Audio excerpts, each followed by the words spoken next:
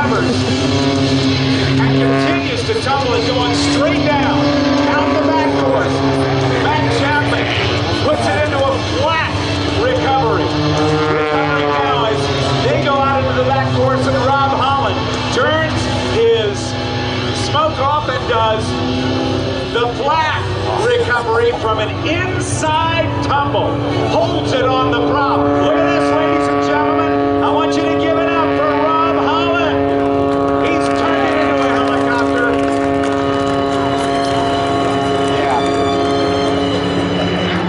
Now, in front of you at show center.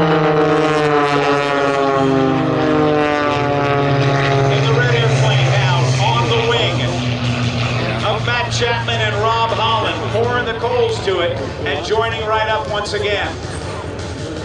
A very, very challenging rejoin for Rob Holland because he's on the outside of the turn.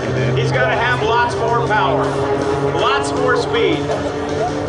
The formation work of these guys is awesome. And I don't think I've ever seen the show look quite this good.